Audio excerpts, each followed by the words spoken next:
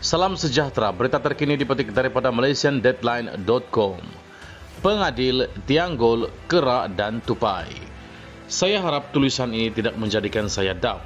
Penulis amat meluat dan loya tekak melihat kenyataan sinis Haji Hadi mengenai adilkah pengadil Piala Dunia Alih Tianggol bagi yang kalah.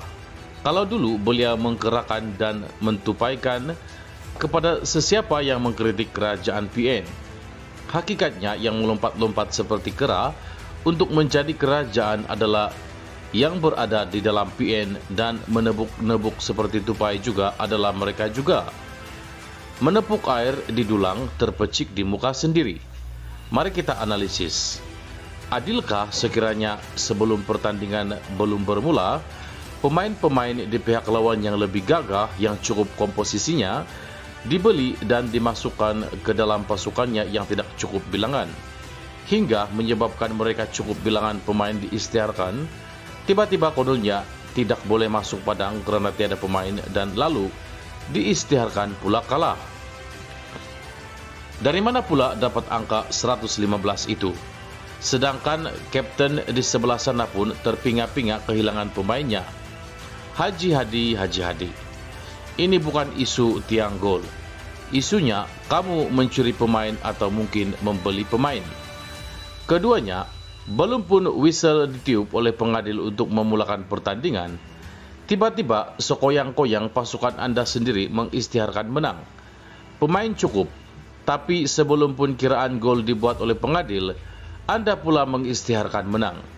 Sebelum pun Seri Paduka Bagenda YDA menjalankan proses yang mengikut perlembagaan, anda sudah mengistiharkan menang. Tidak pernah berlaku dalam perlawanan Piala Dunia begitu.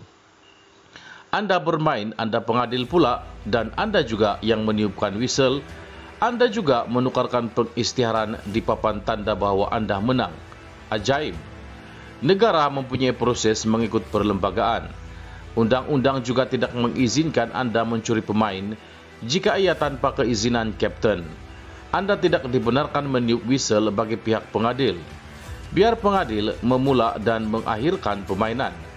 Kalau anda membeli pemain dengan habuan, maka itu rasuahnya, rasuah namanya. Tiada siapa yang mengalihkan tiang gol melainkan anda sendiri.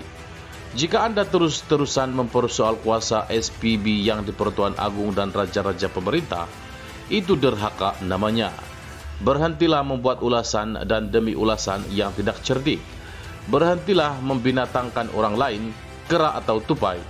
Nanti kita yang akan kelihatan tidak cerdik dan semakin tidak cerdik. Cerminlah diri, takut-takut diri sendiri yang berwajah kera. Cerminlah, cerminlah wajah. Bimbangnya kitalah tupai yang menebuk buah itu.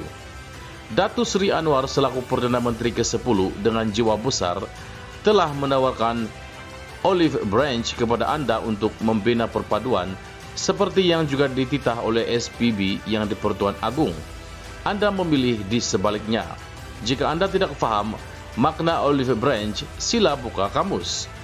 Penulis merupakan Fellow Islam Academy of Science Jordan. Walau bagaimanapun tulisan ini bukan menggambarkan pendirian akademi, ia merupakan pandangan penulis.